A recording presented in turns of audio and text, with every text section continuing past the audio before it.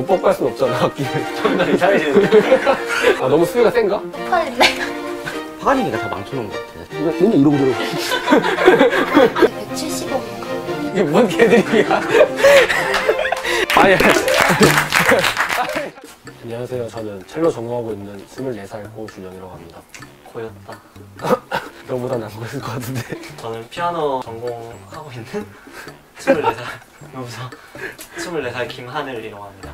바이올린 전공하고 있는 23살 최은진이라고 합니다. 안녕하세요. 저는 바이올린 전공하고 있는 미필 25살 김동희라고 합니다.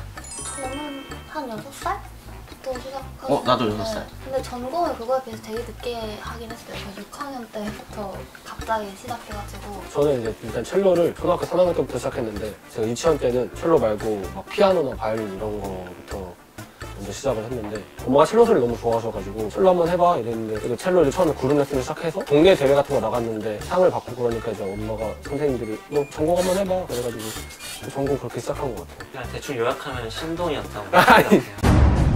6살 때 그냥 머리 좋아지라고 시켰는데 머리는 안 좋아지고 오히려 공부 안 하는데 전공하는 줄 모르고 큰 선생님한테 갔는데 전공하고 있더라고요. 입시 보라 그래서 입시 보고 그때부터 전공하는 걸로 근데 단단이라기보다는 좀 발달하는 것 같긴 하잖아요. 저 친구 중에 하도 이렇게 이 악물고 연주해가지고 부정교합 봐서 교정한 친구도 있고 저는 턱 막 물고 하면은 이가 아파가지고 못 들었어? 아 왜 못 들었어? 맞아서 많이. 명전세 이 명치가 단단하기보다는 굳은 살이 있어서 확인해봐도 돼? 아 이거 보여줄 수가 없어가지고 보여주시면은 이거 그 19 달아야 돼서 볼루통 첼로 하는 사람들이 여기 다. 조금씩 굳은 살이 있긴 있거든요. 아니 아니. 두 개 다 들어도 될까요? 두 개? 나도? 일단 악기 하는 사람들은 기본적으로 굳은 살 많이 배기고 저도 있긴 한데 제가 남들보다는 좀덜 배기는 편인 것 같아서 제가 뭐 입시 때도 막 8시간, 10시간씩 연습해도 잠깐이지 금방 굳은 살이 없어져서 여자애들은 진짜 막 여기가 하얗고 막 굳은 살 자국 덩어리 막 그런데 저 같은 경우에는 그래도 흔히 못생겨 보이지는 않는데 대충 요약하면 태어날 때부터 손을 타고났고 몸에 못생긴 부분이 없다. 굳은 살이 잘 배기는 사람들은 잘 배기고 아닌 친구들은 안 배기고 그러는 것 같아요. 근데 오히려 약간 안 배기는 게 좋다고도 하잖아요. 맞아 맞아 옛날에 굳은 살 베기는 게 자랑인 줄 알고 똑같은 데만 계속 하다가 거기가 염증이 났어요 피아노도 굳은 살안 생기나요? 굳은 살이 생긴다기보다는 디스크나 아 어, 저희도 허리 디스크는 약간 약간 굳은 살- 고질병으로 굳은 살이 생기진 않는 것 같은데. 아 악기 들고 다닐 때 애환이 있다고? 트럭이 있어야 악기를 메면 나무 토막 같잖아요.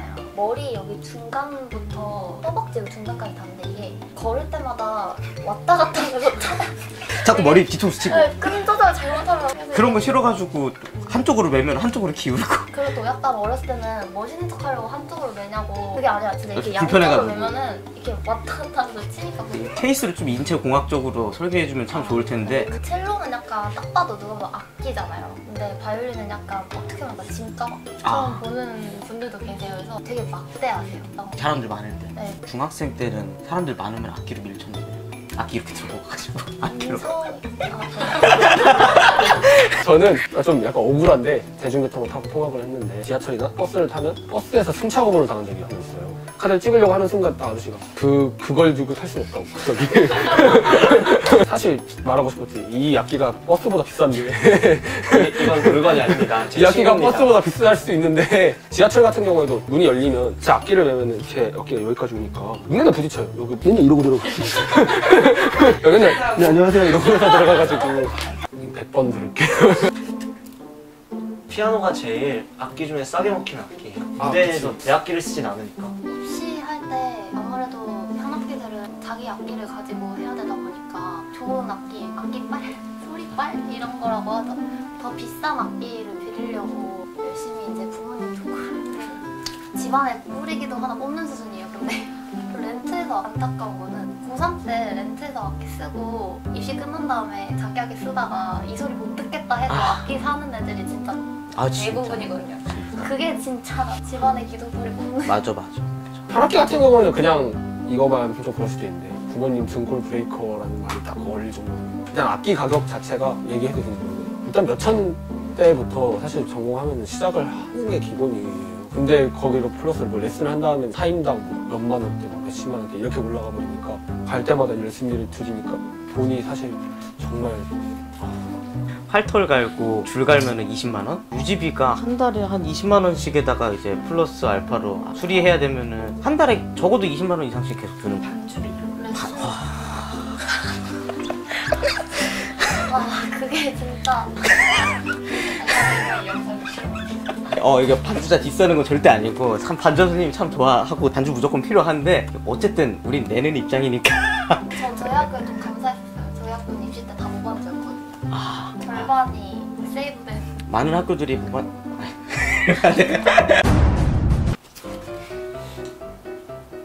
피아노는 이전에 방법이 있나요? 뚜껑 닫기. 어 중요하지. 옛날에 피아노 학원 다닐 때 뚜껑 안 닫아서 원장님한테 꿀밤 맞았잖아. 정작 원장님의 뚜껑을 열었구나. 근데 한 학기 같은 경우에는 되게 민감한 학기여서 나무로 돼 있어서 습도에 되게 민감하고 온도에 되게 민감해요. 그래서 기본적으로 여름이나 습하니까 제습제 같은 거를 이제 케이스 안에 넣어주거나 수분을 공급해주는 그런 댐핏이라는 게 있어요. 그거를 악기 안에 넣어주면 수분이 공급해서 습도 조절이 되고 온도 같은 경우에는 저희가 웬만하면은 더우면 더우면 에어컨 틀어놓고 이제 항상 이렇게 유지를 안 하면은 악기가 고장이 나고 막 망가져서 저는 악기사를 자주 가요. 악기는 솔직히 전문가가 따로 있으니까 자주 닦고 어릴 때는 통진 쌓이는 맛이 있어가지고 나무에다가 이렇게 하얀 가루 막 쌓이고 그거 모으는 재미로 아. 살았었는데 옛날에는 내일은 왜 그런지 잘 모르겠는데 세균 덩어리였을 텐데 어, 지금은 저도 연습실이 악기점 안에 있는 연습실이어가지고 아저씨한테 많이 보여주고 송진 하얀 거 쌓였으면 엄청 혼나요. 에, 닦이지도 않는데 왜 엄청 쌓아? 스트라디바리우스가 100억이 넘어가지고. 본 적은 있어요 이제. 저는 실험윤도 한번 들어보고. 연주를 해보신 적은 없어요? 네, 참, 차마 만질 수가.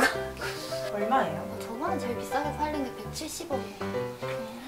제 기준에서는 100억의 가치는 못하는 것 같은데. 나한테 쥐어주면 더 잘. 아니 아니 아니 그게 아니고. 아니 아니 그게 절대 아닌데. 내가 생각한 100억의 소리는 아니었어 그게 막 그런 가격대의 가치가 있는지는 이제 눈 가려놓고 귀만 열고 스트라디바리우스랑 다른 악기들 비교해서 하는 거 맞거든요. 근데 거의 아무도 스트라디바리우스 못 맞춰요. 이건 또 왜 오야 그냥 뭐 악보에 써둔 적은 있지. 저는 악기 전공을 되게 싫어했거든요. 연습을 하나도 안 하니까 초등학교 5학년 때까지 운지법 스티커를 못 뗐어요. 심지어 막 3포지션, 옮겨가는 포지션 스티커도 다 붙여놨던 거. 음 저는 이, 2년 걸렸으려나? 은지버 스티커 뭐 초등학교 때 완전 처음 시작했을 때다 붙이고 시작하고 지금도 제가 레슨하는 초등학생 아이들 항상 붙여주고 시작을 해요 기본적으로 잡혀있는 틀이 없어서 뗀 거는 한, 한 1년 안에 뗀 것 같은데 1년 안에 아니 아니 그 내가 지금 내가 무슨 멘트 칠것 같은지 아는데 그거? 아니거든 뭔데? 1년 만에 모든 운지를 마스터했다 아니야. 아니야? 1년 만에 스티커를 못 떼면 전공할 자격이 없어. 아 근데 스티커를 떼는 게 음정이 더 좋은데 이제 떼고 연습하는 게 더 빠를수록 사실 적응이 빠르니까 전혀 전혀.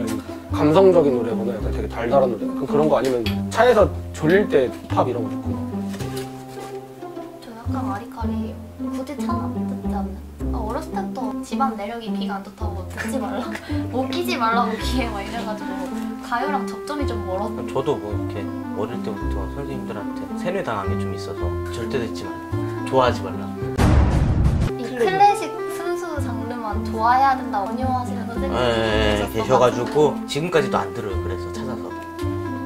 피아노는 튜닝을 아 조율사분이 하시지. 그냥 현악기 전체적으로 이제 처음에는 튜닝기를 가지고 시작을 하다가 이제 귀가 좀 발달이 되면 처음에 한 줄을 미리 맞춰놓은 다음에 그 줄을 이용해서 뭐 다 맞출 수 있어요. 저는 중학교 때부터 혼자 같아요 그 전까지는 이제 튜너기라는 기계가 있는데 그걸로 맞추다가 나중엔 귀찮으니까 제 귀도 믿고 하니까. 알파고급 음감이다. 아니 아니 그거는 사실 대학생이면 다 해 이제. 조율 못하면 대학생 자격이 절대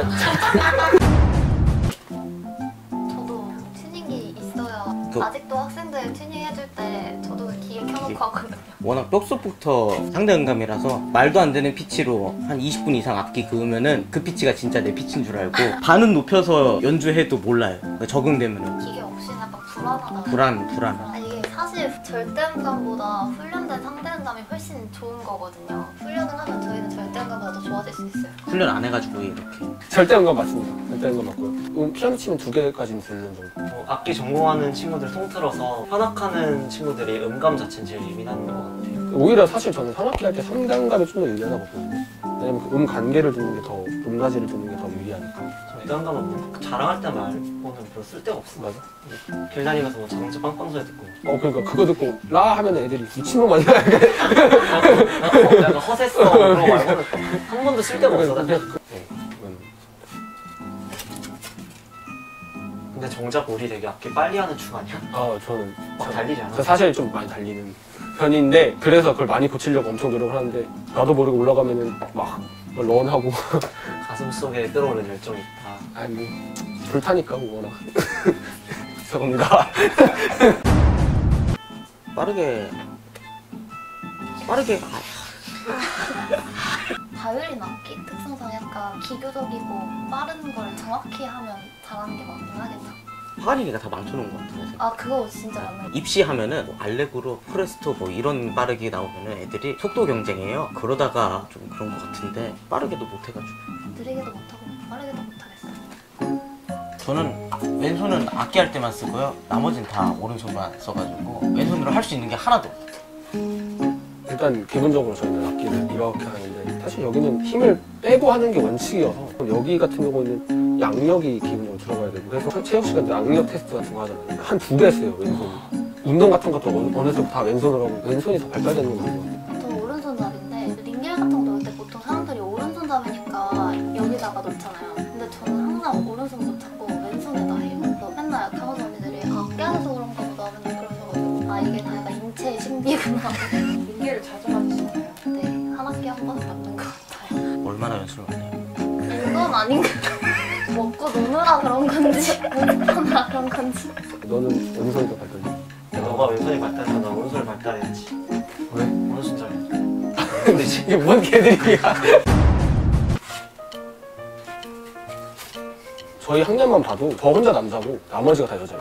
학년들을 보면 남자 한두 명이 최고고 아예 없는 학년도 있고. 그냥 뭐 예술 중 예술고 음대 가보면은 다 여자애들밖에 없어가지고 왜, 왜 남자애들 별로 없는지 잘 모르겠어요. 그냥 우- 우리나라만 그런 것 같기도 해외 오케스트라 같은 거 보면 남성분들도 되게 많은데. 저는 보통 악기 할 때 머리를 이렇게 하나를 묶고 하거든요 근데 그걸 좋아하는 이유가 바이올린 이렇게 하잖아요. 푸는 것도 나올 때 이렇게 할 때 머리가 이렇게 되는 게 약간 멋있어 보이더라고요. 그래서 약간 일부러 그렇게 하는 경향이 없지 않아 저 같은 경우에는 솔직히 말해서 약간 민망하거든요. 시선 처리를 어떻게 둬야지. 그래서 민망해서 그냥 음악이 안 치는데도 막 여기서 여기 보고 하고 막 그래요. 그럴 땐 너희 굳은 살 안 보이잖아 할 수는 없잖아 악기를 점점 이상해지는 아, 너무 수위가 센가? 저는 무대 공포증이 되게 심했는데 그거 숨기려고 안 떨리는 척하고 웃고 막 이런 거. 근데 오빠 연주할 때 엄청 웃잖아요 어 그 다 연기. 아 아, 가식적인 아 그런 거구나. 바이올린 하다가 다른 악기를 다 까먹게 됐고 원래 피아노도 하고 플룻도 하고 여러 가지 했었는데 이제 바이올린 전공을 시작하면서 우승을 상실했어요. 피아노는 진짜 완전 옛날에 테레비 30번 이 정도. 지금도 막 있잖아요. 도미 솔시 노래도 그거밖에 못 쳐요. 근데 약간 첼로 하는 사람들이 비올라 같은 경우에 음계가 똑같거든요. 줄이 똑같아서 비올라를 첼로처럼 놓고 하면 잘할 수 있어요. 엄마가 피아노 선생님이셨는데 가르치다가 포기하셨어요. 바이올린부터 배운 케이스라서 피아노보다 비올라는 맨날 제가 비올라 잡으면 바이올린 소리 난다 그래가지고 안 잡아야겠지. 직장으로서 오케스트라는 모르겠는데 배우는 거면은 자기가 진짜 잘하지 않는 이상은 오케스트라 꼭 하는 게 배우는 게 좋지 않을까. 저도 그냥 학생들한테 꼭 하라고 추천하는 편이고 그러니까 모든 음악 중점 학교에 오케스트라가 있는 거는 다 이유가 있지 않을까요? 확실히 귀도 좋아지고 또 재밌어요 나름 사람들이랑 다 같이 하다 보면 매우 힘들지만 매우 힘들지. 지전 선생님이 체력이 좋으시면 좀 힘들어. 안 끝내죠. 바이올린 파트도 진짜 많이 지키지 않나요? 음정 안 맞는다. 나도 모르겠는데. 어 이건 두 개 다 드릴게요. 이거는 좀 답하기가 좀 애매한데. 하나 오케스트라가 하면은 굉장히 좋긴 해요. 예를 들어 저 같은 경우에는. 초, 초등학생 때부터 오케스트라 단체에서 활동을 좀 했었는데 그런 데서 활동을 하면 일단 좀 같이 합주하면서 귀도 좋아지고 대부분 사실 오케스트라를 하는 애들이 잘해요 악기를. 꼭 오케스트라가 필수라고 할 수 있긴 어렵고 근데 사실 저희가 취업하기에는 오케스트라가 좋아서 제가 만약에 악기를 누군가에게 시킨다면 오케스트라를 들어가라고 추천을 하고 싶어요. 제가 감히. 만약에 전공을 꿈꾸시면 한번 다시 생각해보시는 것도 일단 나쁘지 않고. 자기만 행복하고 싶으면 하시고요. 가족의 평화를 위해서는 나 같은 경우에는 악기 없으면 못 살겠어 가지고 하고 있는 그런 건데 아끼는 내 인생의 동반. 그밖에 할줄 몰라가지고 아, 악기 없어도 자기가 살 수 있겠다 하면은 깊은 고민과 함께 시작해야 되지 않을까 저도 가끔 초등학생 어머님들이 아이 전공시키고 싶은데 라고 말씀하시면 공부 잘하나요? 그러면 그 어머님들이 이제 막 자랑스럽게 이번에 뭐 결정 맞았고 그럼 공부시키세요 하거든요. 바이올린을 굳이 하고 싶으시다면 매력 있는 점도 굉장히 많은 악기니까 그러니까 만약에 첼로를 전공하셨으면 어떤 매력에 빠져서 시작했는지 잘 알 것 같아요. 그냥 지금 연애하지 말고 항상 열심히 하는 그런 음악 하는 사람이 됐으면 좋겠어요. 화이팅! 파이팅